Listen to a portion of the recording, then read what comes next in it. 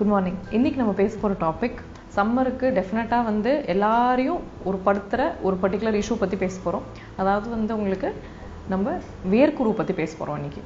So common man அதாவது நீங்கள் எல்லாம் எதை வேர்க்குருன்னு கூப்பிடுறீங்களோ டெர்மட்டாலஜிஸ்டோட லாங்குவேஜில் அதை நாங்கள் மிலேரியா ரூப்ரா அப்படின்னு சொல்லுவாங்க. ஸோ இந்த மிலேரியா ரூப்ரா இல்லைன்னா வேர்க்குருங்கிறது என்ன அது ஏன் வருது எப்படி நம்ம இதை ப்ரிவென்ட் பண்ணலாம் அப்படிங்கிறது தான் இன்னைக்கு நம்ம டிஸ்கஷன் வேர்க்குருங்கிறது பார்த்தீங்கன்னா எப்படி ஃபஸ்ட்டு ஸ்வெட்டு ப்ரொடியூஸ் ஆகுதுங்கிறத புரிஞ்சாதான் நம்மளுக்கு ஏன் வேர்க்குரு வருதுங்கிறத புரியும். ஸ்வெட் அப்படிங்கிறது ஒரு சின்ன ஸ்வெட் கிளாண்ட் அப்படிங்கிற கருவியிலேருந்து வருது. இந்த ஸ்வெட் கிளாண்டுங்கிறது ஒரு சின்ன டியூப் மாதிரி இருக்கிற ஒரு கருவி. தோலுக்குள்ளே இருக்கிற ஒரு கருவி.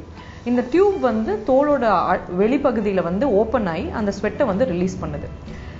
எப்போ நம்ம அதாவது சம்மர் டைமில் இல்லைன்னா நம்ம ரொம்ப எக்ஸஸ் ஆக்டிவிட்டி இல்லைன்னா வந்து இப்போ பசங்க பார்த்தீங்கன்னா வெளியே போய் நிறைய விளையாடுறாங்க அப்படின்னு. நம்ம அஃப்கோர்ஸ் விளையாடணும்னு அவசியம் இல்லை. ஒரு இடத்துல உட்காந்தாலே சம்மருக்கு இப்படி வந்து வேர்த்து ஊற்றுது உங்களுக்கு. ஸோ அப்படி இருக்கிற பட்சத்தில் எக்ஸஸ் ஸ்வெட் ப்ரொடியூஸ் ஆகும்பொழுது அந்த ஸ்வெட் கிளாண்ட் வந்து பிளாக் ஆகிடும் அதாவது வெளியே வர டியூபோட ஓப்பனிங் வந்து பிளாக் ஆகிடும் உங்களுக்கு. அப்படி ஆகும்போது என்ன ஆகுதுன்னு பார்த்தீங்கன்னா அந்த ஸ்வெட் அப்படிங்கிறது அடியில் தோல்க்கு அடியிலேயே போய் லீக் ஆக ஆரம்பிச்சிடும். ஸோ அந்த லீக் ஆகும்பொழுது அது தோலில் ஒரு இரிட்டேஷனை கொடுக்குது. ரெண்டாவது வந்து அந்த குறு குருவாக சின்ன சின்னதாக ஒரு இரப்ஷன் மாதிரி கொடுத்து உங்களுக்கு இரிட்டேஷனை கொடுத்துருது. இதுதான் வந்து வேர்க்குருவோட ரீசன் ரெண்டாவது ரீசன் ஒன்று என்னன்னா இந்த ஸ்வெட் சுரக்கிற கருவியை வந்து சில பாக்டீரியல் க்ரோத்துமே வந்து உங்களுக்கு பிளாக் பண்ணிடும். இந்த சம்மர் டைமில் வேற உங்களுக்கு பாக்டீரியல் க்ரோத் கொஞ்சம் அதிகமாக இருக்கலாம். ஸோ அது பிளாக் பண்ணுறதுனாலையும் வந்து வேர்க்குரு அதிகமாக வர சான்ஸ் இருக்குது யாருக்கு இந்த வேர்க்குரு வரும் அப்படின்னு பார்த்தீங்கன்னா any age can have this problem அதாவது பிறந்த குழந்தையிலேருந்து ஓல்டேஜ் வரைக்கும் யாருக்கு வேணால் இந்த இஷ்யூ வரலாம்.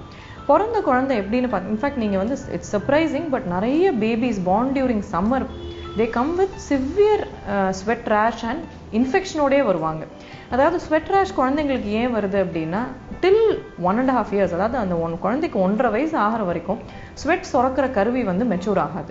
அது ஃபுல்லாக டெவலப் ஆகிறதுக்கு ஒன்றரை வயசு ஆகிடும் ஸோ அந்த குழந்தைங்களுக்கு till one and half years பார்த்தீங்கன்னா ஸ்வெட் ஆகிற கெப்பாசிட்டியே இருக்காது பெருசாக ஸோ ஒரு இப்போ பிறந்த குழந்தை வந்து எக்ஸ்ட்ரீம்லி ஹாட் அதாவது என்ன பண்ணுவாங்க? நிறைய துணி சுற்றிருப்பாங்க அந்த குழந்தைய வார்மாக வைக்கிறேன் அப்படின்னு சொல்லிட்டு திக்காக துணி ரொம்ப வந்து உங்களுக்கு பயங்கரமாக சுற்றி அந்த குழந்தைக்கு ஃபுல் கையை போட்டு நீங்கள் வந்து வைக்கிற சில பழக்கம் இருக்குது நம்ம நம்ம ஊர்லேயே ஃபார் தட் இன்ஸ்டன்ஸ் அப்படி இருக்கும்பொழுது என்ன ஆகுதுன்னா அந்த வார்ம்த்துக்கு அந்த குழந்தையோட ஸ்கின்ல இருந்து வர ஸ்வெட்டு அந்த ஸ்வெட் ஆல்தோ வந்து அது இம்மெச்சூராக அந்த ஸ்வெட் கிளான்ஸ் இருக்கிறதுனால மேலாப்பில் சின்ன சின்ன சின்ன சின்னதாக நீர் பொறி மாதிரி அதாவது வந்து உங்களுக்கு சின்னதாக ஒரு டியூ ட்ராப் அப்பியரன்ஸ் மாதிரி ஸ்கின்ல வரும். அதுதான் நாங்கள் மிலேரியா கிறிஸ்டலினா அப்படின்னு சொல்லுவோம். இதுவும் வந்து வேர்க்குருவோட ஒரு வகை தான். அந்த மாதிரி ஒரு ரேஷ் ப்ரொடியூஸ் ஆக ஆரம்பிக்கும்.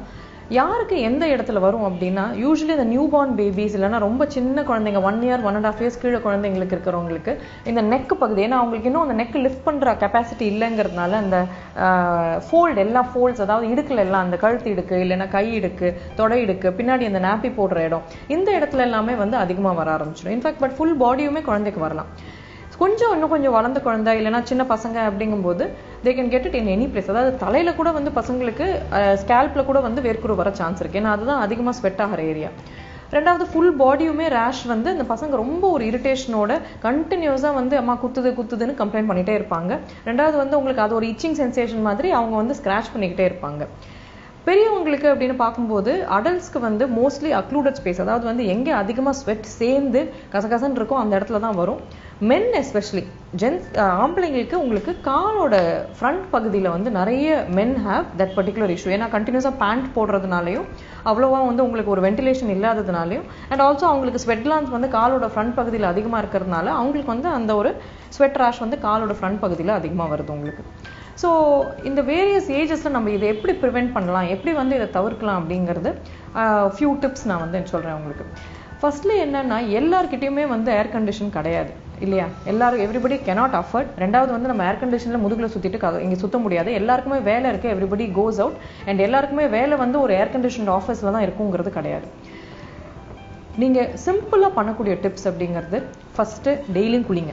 Every day have a bath of course இன்றைக்கி வந்து நம்ம தண்ணி எலக்ட்ரிசிட்டி பற்றாக்குறையில் இருக்கும். ஸோ வந்து you should save electricity you should save water எனக்கு நிறைய பேர் இருக்காங்க. இந்த வந்து ஸ்வெட் ரேஷ் வந்துடக்கூடாது சம்மரில் கசகசன்னு இருக்குன்னு மூணு வாட்டி குளிக்கிறவங்கலாம் இருக்காங்க. தயவு செஞ்சு இதெல்லாம் பண்ணாதீங்க. நீங்கள் மூணு வாட்டி குளிக்கிறதுனால இன்னொருத்தருக்கு வந்து ஒரு வாட்டி கூட குளிக்க தண்ணி இருக்கிறது இல்லை once a day bath is enough ஓகேங்களா இதுக்கு மேலே வந்து ஈவினிங் உங்களுக்கு ரொம்ப ஒரு ஸ்வெட்டியாக இருக்குது ஒரு ரொம்ப பிசு பிசுன்னு இருக்குன்னா ஜஸ்ட் துணியை தண்ணியில் நினச்சி தொடச்சிக்கோங்க. அது மோர் தென் எனஃப் குழந்தைங்களுக்கும் அதே தான் சொல்கிறேன் ஒரு குழந்தைய தூக்கிட்டு போய் வந்து ஒரு நாலு வாட்டி குளிப்பாட்டுவாங்க அம்மா. தேவை கிடையாது. காலையில் குளிப்பாட்டுங்க டெய்லியும். அதுக்கப்புறம் வென் அந்த குழந்தை வெளியே போயிட்டு விளையாடிட்டு கசகசன்னு வரும்போது ஒரு துணியை வெட் பண்ணி தண்ணியில் கொஞ்சமாக தண்ணி எடுத்துட்டு தொடச்சி விட்டிங்கன்னா தண்ணியும் சேவ் பண்ணுவீங்க குழந்தையோட ஸ்கின்னையும் சேவ் பண்ணுவீங்க. ஸோ இது வந்து ஈஸியாக பண்ணிடலாம். ரெண்டாவது வந்து உங்களுக்கு வீட்டில் நீங்கள் என்ன பண்ணலான்னா சப்போஸ் நீங்கள் வந்து ஒரு பிளான்ஸுக்கு வந்து எடுத்து ஊற்றுறதுக்கு தண்ணி வச்சுருக்கீங்க. இல்லைன்னா வந்து உங்கள் குளிக்கிறதுக்கே தண்ணி ஒரு பக்கெட்டில் வச்சுருக்கீங்கன்னா அந்த தண்ணி எடுத்து ஒரு பத்து ஐஸ் கியூப் உள்ளே போட்டு ஃபேன் கடியில் வச்சிருங்க அவ்வளோதான் ஃபேன் கடியில் வச்சிட்டிங்கன்னா அந்த ரூமே வந்து ஒரு நல்ல ஒரு என்ன சொல்கிறது ஒரு கூலாக இருக்கும். கண்டினியூஸாக ஒரு ஒரு ஒரு நல்ல வென்டிலேஷன் இருக்கிற மாதிரி இருக்கும் உங்களுக்கு. ஸோ இதையும் ஈஸியாக பண்ணலாம். இதுலேயே வந்து ஒரு தண்ணி துணியை எடுத்து நல்லா நினச்சிட்டு கோல்டு வாட்டரில் நீங்கள் ஜன்னலில் எடுத்து போட்டிங்க அந்த துணியை அப்படின்னா நல்ல கூல் ப்ரீஸ் உள்ளே வர ஆரம்பிக்கும். ஸோ இதெல்லாம் சிம்பிள் டிப்ஸ் நீங்கள் பண்ணலாம். ஈஸியாகவே வந்து உங்கள் வீட்டை ஒரு கூலாக வச்சுக்கலாம். எல்லாரும் ஏசியில் உட்காரணுன்ட்டு அவசியம் இல்லை.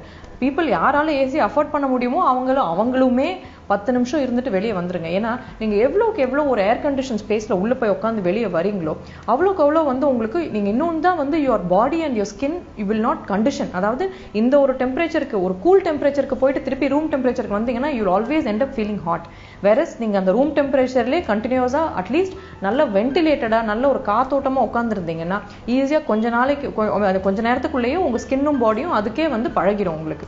So this is very important and air condition throughout the day please waste electricity. That is very very important ஏன்னா வந்து everybody needs the current today we are in a summer we are in shortage. So இது தவிர வந்து என்ன பண்ணலாம் அப்படின்னு பார்த்தீங்கன்னா குழந்தைங்களுக்கு லைட் துணி போடுங்க. நல்ல ஒரு மெலிசா ஒரு காட்டனில் சிந்தட்டிக் இல்லாமல் அதுவும் இல்லாமல் இந்த இப்போ இப்போ நிறையவே பார்த்தீங்கன்னா they want to make the child wear அதாவது ஒரு ரொம்ப ஒரு காடியாக ஒரு கசகசன்ட்டு அந்த நைலான் பாலிஸ்டர் இருக்கிறதெல்லாம் தயவு செஞ்சு போடாதீங்க. காட்டன்லேயே போடுங்க லைட் துணி போடுங்க குழந்தைங்களுக்கு. And you can always change the clothes evening ஆனால் கொஞ்சம் ஸ்வெட்டில் நனைஞ்சதுன்னா அந்த ஸ்வெட்லேயே ஊற விடாதீங்க.